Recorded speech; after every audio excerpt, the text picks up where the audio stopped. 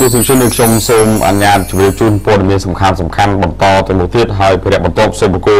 ជូនលោកសកតម្រងបាទសូមជូនអរគុណច្រើនព័ត៌មានជាបន្តទៅនេះសូមអនុញ្ញាតជម្រាបជូនអំពីបេសកកម្មពិសេសរបស់ប្រមុខរដ្ឋាភិបាលកម្ពុជាទៅកាន់កិច្ចប្រជុំកម្ពុជាអាស៊ីអាហ្វ្រិកឆ្នាំ2015នៅឯប្រទេសឥណ្ឌូនេស៊ីបាទហើយក្នុងកិច្ចប្រជុំនោះដែរគឺថាប្រមុខរដ្ឋាភិបាលកម្ពុជាបានជួបជាមួយនឹងថ្នាក់ដឹកនាំសំខាន់សំខាន់នៃបណ្ដាប្រទេសជាច្រើនទៀតដើម្បីពង្រឹងកិច្ចទំនាក់ទំនងនិងកិច្ចសហការផ្សេងផ្សេងដទៃទៀតបាទនេះរូបភាពនេះគឺជារូបភាពដែលប្រមុខរដ្ឋាភិបាលកម្ពុជាជួបជាមួយនឹងនាយករដ្ឋមន្ត្រីអេស៊ីបបាទនៅក្នុងពេលនោះគឺថាប្រមុខរដ្ឋាភិបាលកម្ពុជានឹង ថ្នាក់ដឹកនាំប្រទេសអេស៊ីគឺនាយករដ្ឋមន្ត្រីអេស៊ីបានផ្ដោតទៅលើការពង្រឹងទំនាក់ទំនងគ្នាឲ្យបានកាន់តែជិតស្និទ្ធគ្រប់វិស័យទាំងអស់ធ្វើដំណេចឲ្យคล้ายទៅជាប្រទេសដែលមានទំនាក់ទំនងនៅក្នុងឆាកអន្តរជាតិ បាទហើយប្រមុខដឹកនាំនៃប្រទេសទាំងពីរបានឯកភាពគ្នាជំរុញកិច្ចសហប្រតិបត្តិការឲ្យកាន់តែរឹងមាំនិងរីកចម្រើនទ្វីឡើងជាពិសេសជំរុញពាណិជ្ជកម្មនិងវិនិយោគនៃប្រទេសទាំងពីរឲ្យមានសន្ទុះខ្លាំងឡើងហើយកម្ពុជានឹងបើកស្ថានទូតថ្មីរបស់ខ្លួននៅទីក្រុងកៃរ៉ូនៃប្រទេសអេស៊ីបនាពេលដ៏ខ្លីខាងមុខនេះប្រមូលរដ្ឋាភិបាលកម្ពុជាបានបដិញ្ញាបន្តយកចិត្តទុកដាក់ខិតខំពង្រីកទំនាក់ទំនងនិងពង្រឹងសហប្រតិបត្តិការល្អជាមួយបណ្ដាប្រទេសនៅក្នុងពិភពលោកឲ្យបានច្រើនដើម្បីជំរុញការអភិវឌ្ឍប្រទេសជាតិឲ្យកាន់តែរីកចម្រើនតទៅទៀតបាទឥឡូវនេះចូលដល់ជំនួបពិសេសមួយរបស់ប្រមុខរាជរដ្ឋាភិបាលកម្ពុជាជាមួយនឹងអឺឋានៈដឹកនាំនៃប្រទេសចិនវិញម្ដង បាទនៅក្នុងឱកាសនោះគឺប្រមុខរដ្ឋាភិបាលកម្ពុជាក៏បានជួបពិភាក្សាការងារជាមួយនឹងលោកប្រធានាធិបតីចិនផងដែរនៅក្នុងជំនួបនោះគឺថាភាគីចិនបានបន្តផ្ដល់ឲ្យកម្ពុជាផ្ដល់ជំនួយនិងសហប្រតិបត្តិការផ្សេងៗលើវិស័យយោធាពិសេសគឺលើការហ្វឹកហ្វឺនរួមគ្នានៅក្នុងការគ្រប់គ្រងគ្រោះមហន្តរាយប្រតិបត្តិការជួយសង្គ្រោះដោយសារតែនៅចុងឆ្នាំ2015នេះមាននាវាកងទ័ពជើងទឹករបស់ចិននឹងធ្វើទស្សនកិច្ចនៅកំពង់ផែប្រសេនុរបស់កម្ពុជាហើយជាមួយគ្នានេះដែរសម្ដេចនាយករដ្ឋមន្ត្រីបានលើកឡើងនៅសំណុំពរមួយចំនួនជូនដល់ប្រធានាធិបតីចិនទី1នឹងស្នើឲ្យភាគីចិនរក្សានៅអត្រាការប្រាក់លើកម្ចីនៅប្រាក់យន្តក្នុងស្ថានភាពដដែលទី2ស្នើដល់ភាគីចិនបង្កើនកូតានាំបង្កចូលទៅកាន់ប្រទេសចិនដោយសារតែកន្លងមកភាគីទាំងពីរនឹងបានឯកភាពគ្នានាំបង្កចេញពីកម្ពុជាទៅកាន់ប្រទេសចិនចំនួន100,000តោននិងទី3បង្កើនកិច្ចសហប្រតិបត្តិការពង្រីកការតភ្ជាប់នៅកម្ពុជាទាំងផ្លូវដែកផ្លូវទឹកផ្លូវគោកនិងផ្លូវអាកាសហើយការតភ្ជាប់បណ្ដាញអគ្គិសនីធារាសាស្ត្រ តាមរយៈការប្រើប្រាស់ផែនការផ្លូវសូត្រដែលជានយោបាយរបស់ចិនជាការឆ្លើយតបប្រធានាធិបតីចិនបានថ្លែងថាចិនស្ម័គ្រចិត្តនៅក្នុងការជំរុញកិច្ចសហប្រតិបត្តិការក្នុងបញ្ហានៃការតភ្ជាប់ស្របតាមគោលនយោបាយរបស់ចិន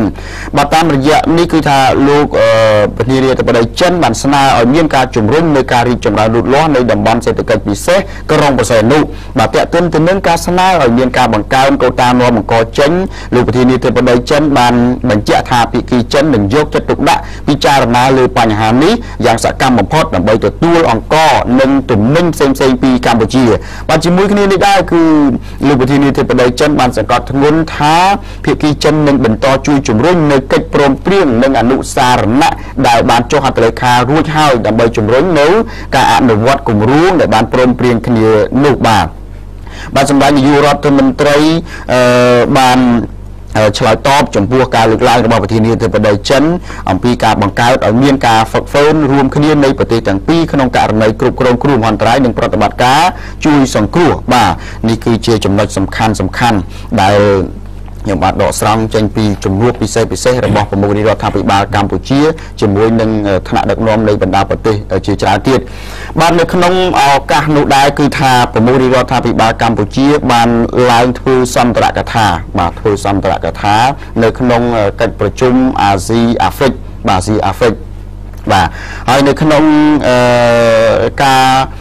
ឡើងធ្វើសន្ទរកថានៃកិច្ចប្រជុំអាស៊ីអាហ្វ្រិកឆ្នាំ2015នេះគឺផ្ដោតសំខាន់ទៅលើបញ្ហាទំនាក់ទំនងអន្តរជាតិការពង្រឹងភាពជាដៃគូហើយនិងបញ្ហាអភិវឌ្ឍសេដ្ឋកិច្ចរបស់ខ្លួនមានន័យថារបស់ប្រទេសនីមួយៗដោយព្យាយាមលុបបំបាត់រាល់គេហៅថា ទម្រង់នៃការរើសអើងរវាងប្រទេសនិងប្រទេសហើយជាពិសេសគឺពាក់ព័ន្ធទៅនឹងអឺបញ្ហាសង្គ្រាមឬក៏អឺបញ្ហាអាវុធប្រឆាំងនឹងពិភពលោកមានន័យថាអាវុធបល័យលោកលោកបត្រាបាទបាទបាទនោះគឺជារឿងដែលពិភពលោកយកចិត្តទុកដាក់ បាទហើយនៅក្នុងកិច្ចប្រជុំកម្ពុជាអាស៊ីអាហ្វ្រិកអឺរយៈពេល2ថ្ងៃនេះគឺអឺបានសម្រេចអនុម័តលើឯកសារចំនួន3រួមមានអឺសារអឺទីក្រុងអឺបានដុងឆ្នាំ2015សេចក្តីព្រៀងអឺ សេចក្តីប្រកាសស្តីអំពីការធ្វើឲ្យកាន់តែសកម្មនៅភាពជាដៃគូយុទ្ធសាស្ត្រថ្មីអាស៊ីអាហ្វ្រិកនិងសេចក្តីប្រកាសអឺស្តីពីប៉ាឡេស្ទីនបាទហ្នឹងគឺថាខ្លឹមសារពឹស្ដាមមិនដឹងថាយ៉ាងម៉េចទេបាទហើយអឺនៅក្នុងឱកាសនោះគឺថា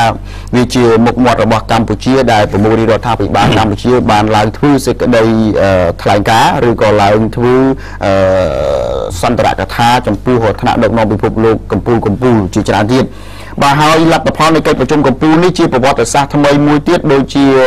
អឺកិច្ចប្រជុំដំបូងនៅទីក្រុងបានដុងកាលពីឆ្នាំ1955ដែរ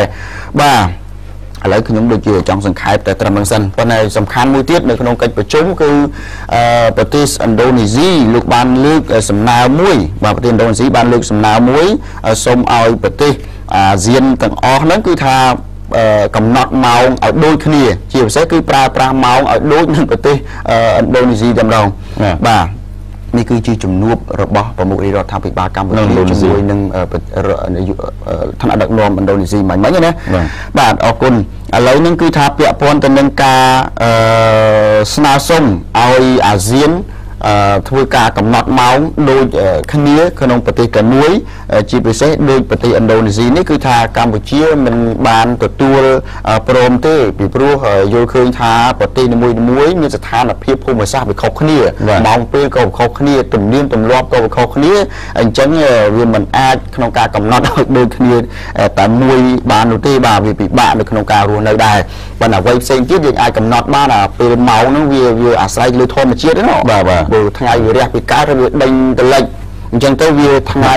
យប់យប់យប់យប់យប់រហូតវាខុសគ្នាយើងបាទកំណត់ម៉ោងវិញអូម៉ារាប់រាប់រាប់ពាន់គឺម៉ោង9យើងម៉ោង6ទេណា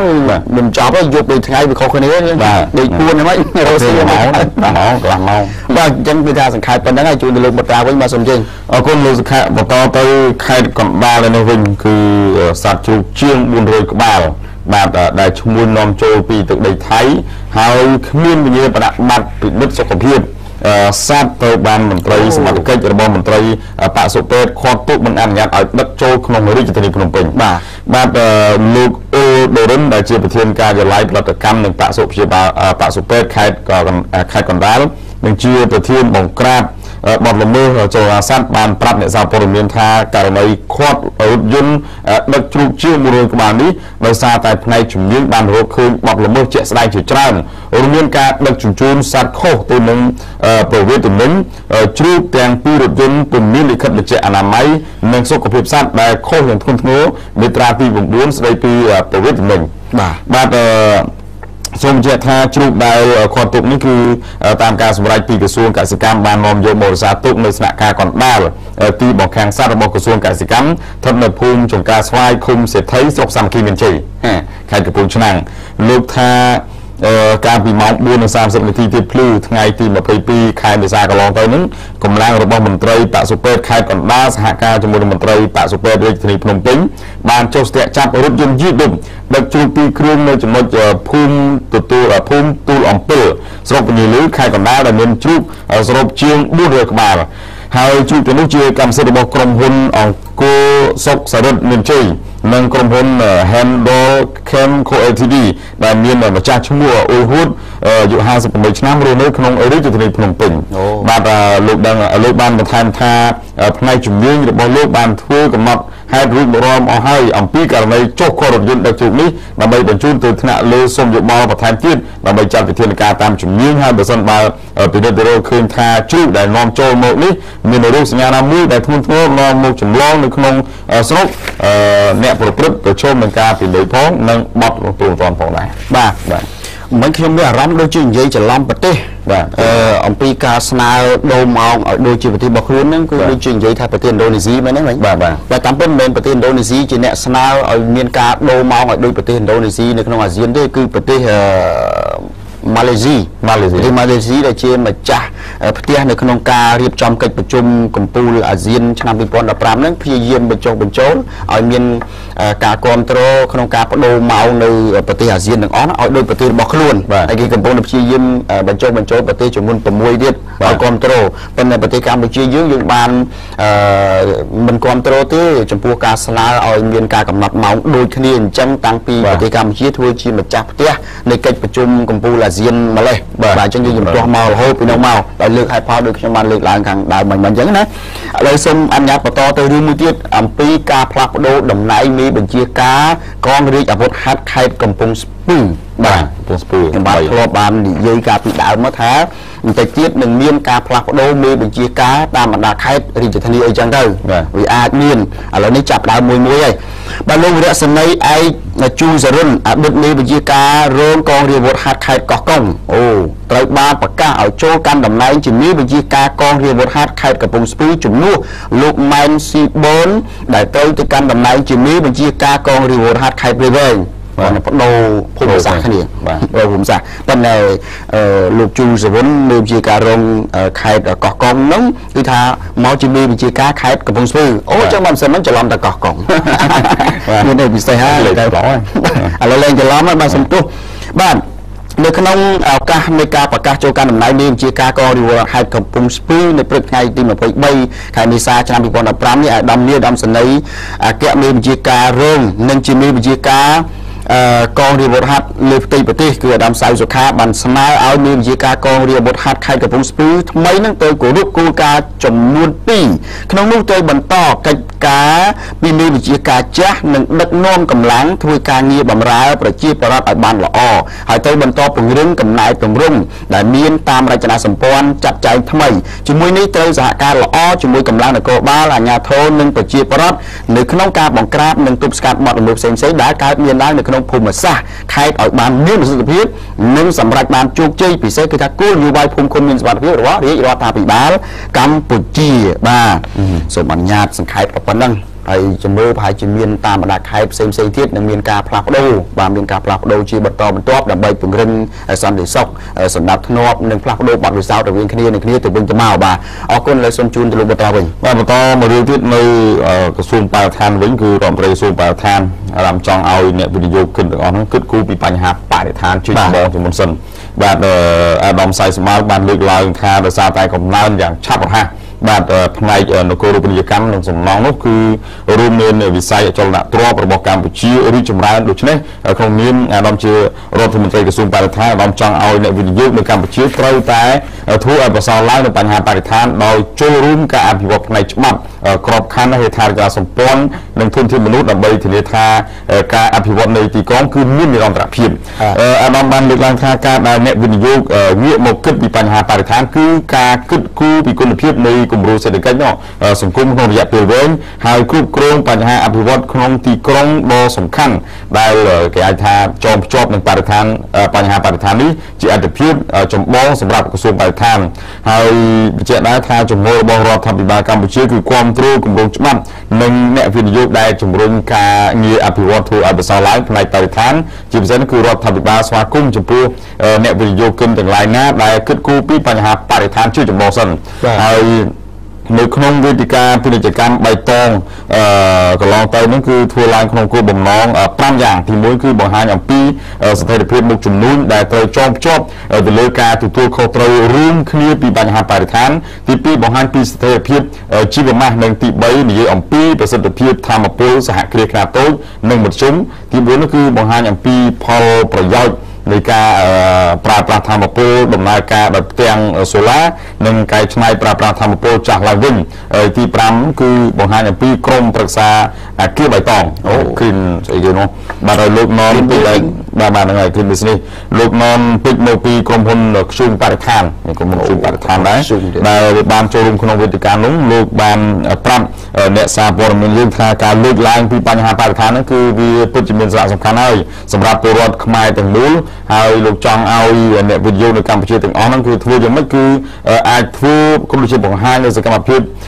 វិនិយោគដែលគិតពីបញ្ហាបរិស្ថាននៅកម្ពុជាឲ្យបានច្បាស់លាស់ជាមុនសិនដែរហើយជួយដល់កម្ពុជាដើម្បីធ្វើឲ្យគេហៅថាកម្ពុជាមានសម្រស់កាន់តែស្រស់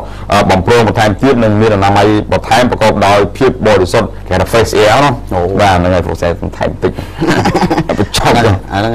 បាទល្អតាពាក្យបច្ចេកទេសហើយយើងបកជាខ្មែរតិចតិចមកវាជារឿងល្អមួយសម្រាប់ឲ្យបងប្អូនមហាជនលោកបានជ្រាបដែរបាទប៉ុន្តែបើនិយាយតែពាក្យបច្ចេកទេសភាសាបរទេសសុទ្ធអាហ្នឹងគឺថាអីអាហ្នឹង fresh air មកប្រហែលថាកង្កែបលីងអីអរគុណឥឡូវមុននឹងសម្រាប់សូមជូនរបាយការណ៍សរុបបន្តិចអំពីរឿងព្យុះភ្លៀងឬក៏ខ្យល់កន្ត្រាក់ដែលធ្វើឲ្យប៉ះពាល់ដល់ទ្រព្យសម្បត្តិរបស់បងប្អូនប្រជាពលរដ្ឋនិងអាយុជីវិត បាទរយៈពេល2ថ្ងៃគឺថ្ងៃទី21ថ្ងៃទី22នេះរបាយការណ៍ពីគណៈកម្មាធិការគ្រប់គ្រងគ្រោះមហន្តរាយបាទដឹងថាខ្យល់កន្ត្រាក់បានធ្វើឲ្យប៉ះពាល់ដល់បណ្ដាខេត្តចំនួន9ខេត្តហើយស្រុកនោះចំនួន18ដែលបណ្ដាលឲ្យផ្ទះរលំចំនួន200 51ខ្នងហើយប៉ោងដំបូល1067ខ្នងហើយប៉ោងដំបូលព្រះវិហារមួយរលំអង្តែនទូរទស្សន៍មួយចុំទូរទស្សន៍ណាចេះបាទរលំបង្គោលភ្លើង40បង្គោលហើយមនុស្សស្លាប់ម្នាក់ដោយសារតែរន្ទះបាញ់ហើយរបួសនោះវា15នាក់ក្នុងហេតុការណ៍ខ្យល់កន្ត្រាក់ពីថ្ងៃហ្នឹង បាទនេះគឺជាព័ត៌មានខ្លីបន្តិចពាក់ព័ន្ធទៅនឹងបញ្ហាខ្យល់កន្ត្រាក់ដែលធ្វើឲ្យប៉ះពាល់ដល់បងប្អូនប្រជាពលរដ្ឋហើយយើងក៏សង្កេតឃើញថាអាជ្ញាធរដែនដីបានចុះទៅពិនិត្យមើលអំពីផលលំបាកជាក់ស្ដែងរបស់បងប្អូនប្រជាពលរដ្ឋអានឹងយើងបន្ទោសអត់បានទេយើងបន្ទោសថាទេអាជ្ញាធរមិនក៏មិនរាំងស្កាត់ព្យុះកន្ត្រាក់ខ្យល់អីគេនឹងកុំឲ្យប៉ះពាល់អានឹងគ្រោះធម្មជាតិពិបាកណាស់ ទេកាកបាទក្រហមមិនក៏មិនរាំងខ្ទប់កុំឲ្យមកប៉ះពាល់ដល់ផ្ទះបងប្អូនជីវរដ្ឋអានឹងខ្ទប់មិនបានទេហ្មងបាទគ្រាន់តែថាពេលដែលកើតហើយគឺថាអាញាធរដែនដីរួមជាមួយនឹងកាកបាទក្រហមលោកចុះទៅពិនិត្យភាពជាក់ស្ដែងឲ្យមានលទ្ធភាពនៅក្នុងការជួយជាបឋមទៅតាមលទ្ធភាពរបស់ខ្លួនបាទទាំងហើយបានជា ការជម្រាបជូនដំណឹងបន្តិចម្ដងតែម្ដងប្រចាំថ្ងៃរបស់ខ្ញុំនឹងថាថ្ងៃទី8ខែឧសភាខាងមុខនេះការកបាក្រហមកម្ពុជាលោករៀបចំគេហៅថាទី1អបអសាទរទិវាការកបាក្រហមអត្តច័ន្ទក្រហមពិភពលោកនោះខួប152 បាទទី2គឺខួប60ឆ្នាំនៃការបង្កើតកាកបាទក្រហមកម្ពុជាហើយក្នុងគោលបំណងសំខាន់ជាងគេគឺកងទារោគមូលនិធិសម្រាប់ទៅជួយដល់បងប្អូនប្រជាពលរដ្ឋដែលជួបលំបាកខាងជីវភាពបងប្អូនប្រជាពលរដ្ឋដែលជួបគ្រោះមហន្តរាយផ្សេងៗដូចជាករណីភ្លើងជើផ្ទះគ្រោះថ្នាក់ចរាចរណ៍ធ្ងន់ធ្ងរបងប្អូនប្រជាពលរដ្ឋដែលរងការព្យុះភ្លៀងខ្យល់កន្ត្រាក់ឬក៏ ស្អីស្អីជាដើមទៀតដែលជួយដោយមិនរើសមុខមិនរើសអើងពណ៌សម្បុរនោះទេឲ្យតែ ជាបងប្អូនប្រជាពលរដ្ឋខ្មែរហើយរងគ្រោះពិតប្រាកដក្រីក្រច្បាស់លាស់បាទអរគុណខ្ញុំបាទសូមអញ្ញាតប៉ុណ្ណឹងបាទអរគុណទូរទស្សន៍ជនសូមអញ្ញាតសម្រាប់បន្តិចសិនវគ្គក្រោយភ្ជាប់ទូរស័ព្ទទៅភ្នាក់ងាររាយការណ៍នៅតាមបណ្ដាខេត្តមួយចំនួនទៀតបាទបាទ